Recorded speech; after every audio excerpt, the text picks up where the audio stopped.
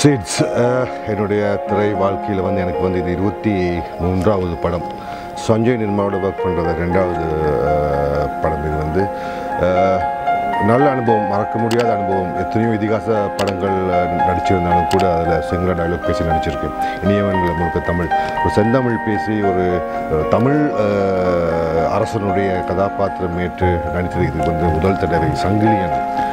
இந்த கிங் பெயர் சங்கிலியன். முழுக்க முழுக்க தமிழ்லேயும் இங்கிலீஷ்லேயும் எடுக்கப்பட்ட இந்த படத்தில் வந்து பெரிய எக்ஸ்பீரியன்ஸ் வாழ்க்கையில் மறக்க முடியாத அனுபவங்கள் இதில் இருக்குது. ஒரு ஒரு பாக்கியசாலின்னு தான் நினைக்கிறேன் இந்த சங்கிலினுடைய கேரக்டர் எனக்கு கிடைச்சிருக்கு. ஸோ இதில் நடித்த கலைஞர்கள் எல்லாமே தமிழ் கதாபாத்திரங்களுக்கு தமிழ் கலைஞர்களே தேர்வு பண்ணி இதில் வந்து சேர்த்துருக்காங்க. அதே மாதிரி இங்கிலீஷில் வரக்கூடியவங்க வந்து அதுக்கேற்ற மாதிரி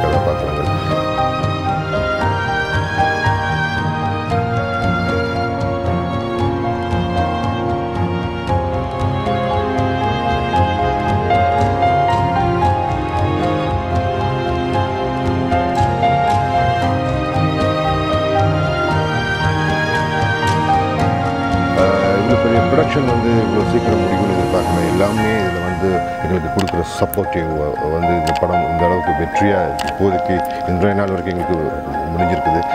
டூ டேஸில் எல்லா வேலைகளும் முடிஞ்சிடும்.